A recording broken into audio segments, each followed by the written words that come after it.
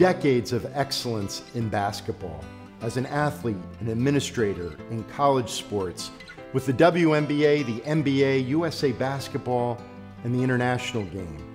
Historic milestones and achievements, the Big East Conference at its best. A stronger context for generations of students to engage in intercollegiate athletics, greater inclusion, diversity, a commitment to excellence. This is a well-deserved honor for everything that you have given and committed to the game of basketball. And thank you for all of your countless hours and unwavering devotion to ensuring that the NCAA puts women's basketball as a focus. You are an incredible ambassador for the game of basketball. You always have been. You're so smart, you work so hard, and you're so humble. And we appreciate your leadership every step of the way. Thank you for being a pioneer for our sport and for leading us. Thank you for all you've done for USA Basketball throughout the years. From one Hall of Famer to another.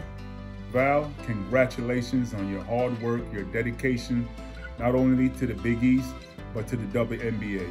I mean, that's just an incredible, incredible accomplishment. You deserve this. You're, you're really one of the true trailblazers in the game of basketball and you've done it on both sides, the women's side, the men's side. I don't know anyone else that's done that. Val, everybody at Fox Sports wants to congratulate you on your induction into the Basketball Hall of Fame. It's Huge congratulations. From your Big East Conference family, congratulations.